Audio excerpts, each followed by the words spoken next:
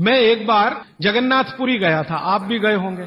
तो मैंने मंदिर के महंत को पूछा कि ये भगवान का प्रसाद माने, वहाँ दाल और चावल मिलता है प्रसाद के रूप में। वो मिट्टी की हांडी में क्यों बनाते हैं? तो उसने एक ही वाक्य कहा, मिट्टी पवित्र होती है।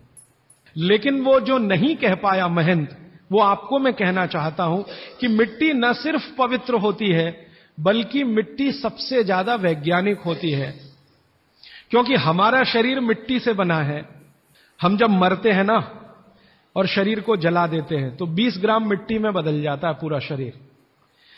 और इस राख का मैंने विश्लेषण करवाया एक लेबोरेटरी में तो उसमें कैल्शियम निकलता है फास्फोरस निकलता है आयरन निकलता है, जिंक निकलता है सल्फ़र निकलता है।